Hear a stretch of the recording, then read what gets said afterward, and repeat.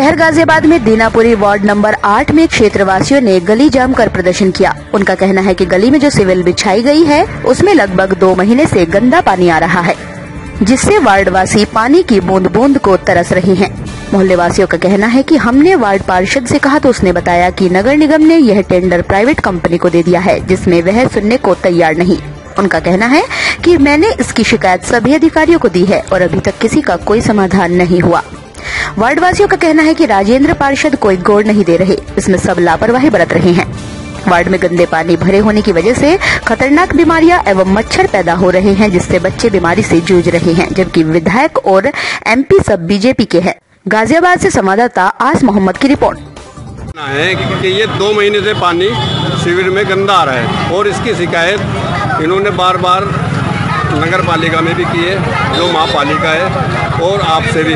तो इसमें आप क्या कहना चाहिए दरअसल प्राइवेट लोगों को दे दिया ना इसका काम? नहीं प्राइवेट लोगों को दे दिया लेकिन जनता को देखना एक वार्ड मेंबर का काम है।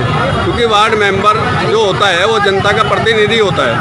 वार्ड जिसको चुना जाता है। वार्ड मेंबर कह रहा है कर रहा है उसी दिन से साथ नहीं है देख रहा है। तो आपका कोई महापालिका में समाधान नहीं हो पाया?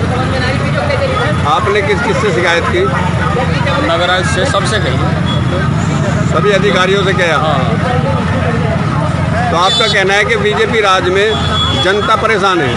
ऐसा नहीं। है और? ऐसा नहीं है। और- को काम जब जनता का काम नहीं होगा तो बीजेपी राज में फिर जनता परेशान है। इनको पता नहीं है ना अभी।